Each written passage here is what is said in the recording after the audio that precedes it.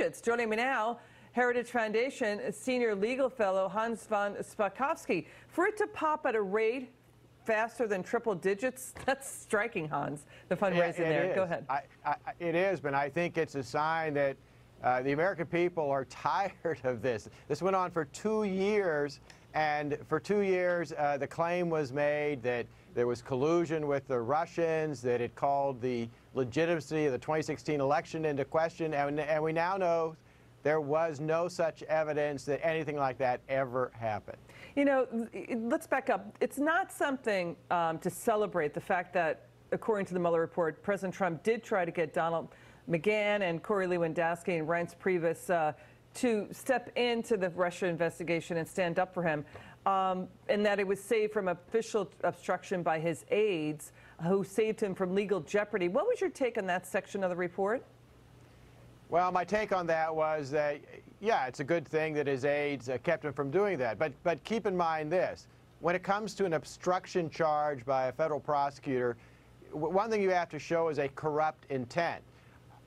I don't think they could do that here. Why? Because the, the intent that was driving the president was not trying to cover up some underlying crime. It was his anger, which I think a lot of people could understand, his anger at being accused of committing a crime that we now know did not occur. And, and the people around the president were, be, were being accused of process crimes.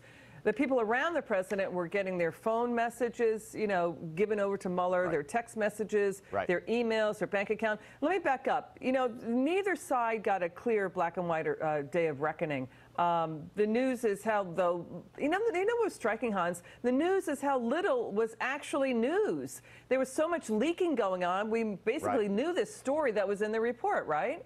Yeah, yeah, we did, and and uh, you have to wonder uh, who was it in the office of Bob Mueller who was leaking this kind of information. Look, the other thing to keep in mind that was very important in the obstruction claims is that we know no actual obstruction of any kind occurred. No restrictions, no limitations were put on Mueller's uh, investigation. Not only that, but as you said, uh, Mueller had access to White House personnel, White House information, White House documents. The president never asserted executive privilege as he could have, and as, in contrast, Barack Obama did when uh, Congress was trying to investigate the Operation Fast and Furious uh, uh, uh, operation that, that the Justice Department did.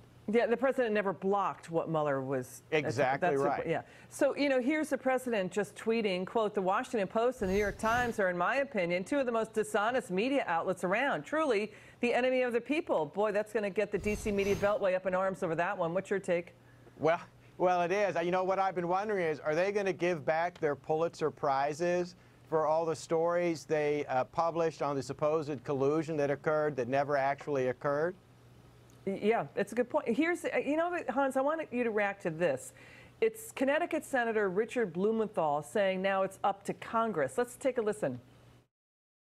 Mueller is trying to say to Congress, you should do your job, hold the president accountable, because I have given you a sweeping, systematic story of criminal wrongdoing. Hans, your reaction to that? Uh, that is just absolutely wrong. Uh, he simply laid out the evidence and, and, and left it for the Attorney General to make a decision on whether there was actually uh, a criminally prosecutable offense.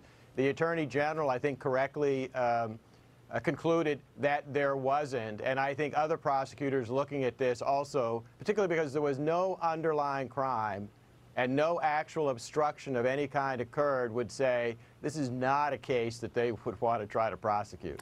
This